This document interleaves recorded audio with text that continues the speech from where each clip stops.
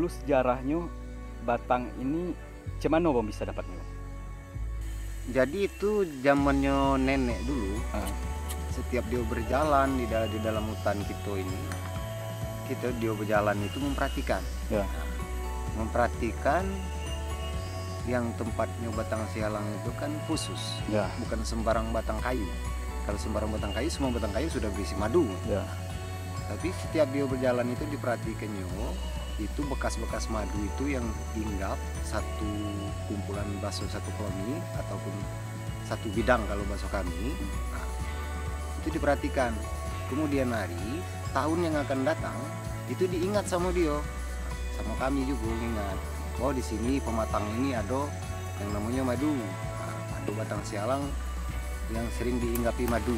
Nah itulah ketahuannya madu itu ada di situ. Jadi setiap kali musim madu ataupun musim bunga, bunga hutan itu ditengok. Kalau bahwa dia berisi apa tidak.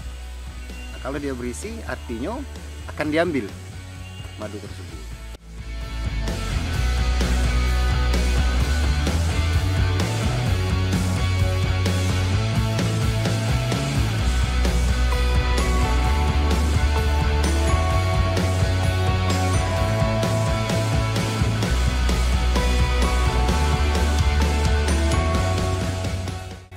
Jadi setiap batang sialang tuh tidak mungkin diambil orang Kami pastikan itu siapa yang mengambil ketahuan itu kami dendo. Itu kami dendo ini bukan per batang sialang, tapi itu kami dendo ini per bidang. Di dalam per bidang itu kami dendo itu minimal itu minimal ah, dengan harga kami penjualan kami berapa? Andai kata penjualan kami 100, ah, kami rincikan di dalam per bidang itu adonyo berat madu itu sampai 12 10 sampai 12 kilo. Tapi kalau dia numbang batang sialang itu dendonya lebih berat lagi. Dendonya itu dibelikan kain putih mulai dari bongkot sialang sampai ke ujung batang sialang itu semuanya itu dikemul sama kain putih itu. Lalu duit bari, duit apa ringgit ringgit zaman dulu itu mulai dari bongkot sialang sampai ke ujung sialang tersebut itu diecerkan duit tadi duit yang recehan tadi yang duit bari duit ringgit namanya itu. Nah itu diecerkan terus. Berapa banyak itu? Itulah dendo dia.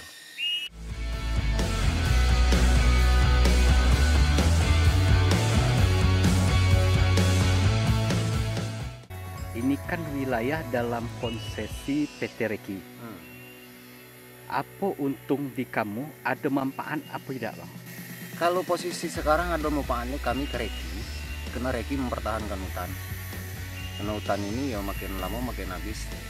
Orang luar orang yang tidak bertanggung jawab yang menghabiskan hutan dirambahnya nah, tapi kalau perambah mulai dari kayu sekecil ini nah, itu dihabiskan sama dia. Dibakar ditu, dikimas segala macam. Dimusnahkan sama dia. Jadi itu sangat banyak sangat banyak itu manfaat bagi kami adanya Reki kalau tanpa Reki mungkin kami juga me- mempertahankan hutan ini tidak sekuat yang kami bayangkan